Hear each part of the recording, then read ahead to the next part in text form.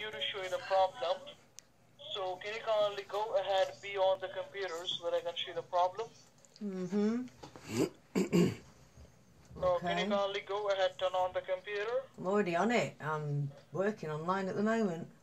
Okay, so I just need two minutes of precious time to show you the problem. So can you just uh, minimize everything, come back to your home screen where you see your normal icons? Well, I can't at the moment. I'm in the middle of work, so I can't actually minimise my screen because if are I don't, Are you working from home? yeah.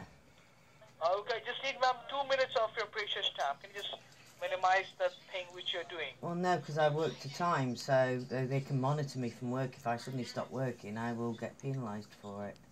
Should I get back to you after half an hour? Will you be there? Uh, no, I won't be here. I'll be working still. Okay, can you just give me a convenient time so that I can get back to you? Well, there was never a convenient time, really, because... Jackson, have you got that report done yet? I'm doing it, sir.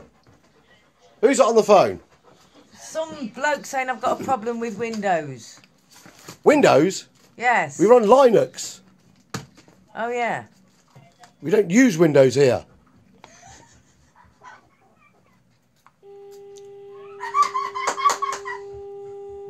I fucking love it.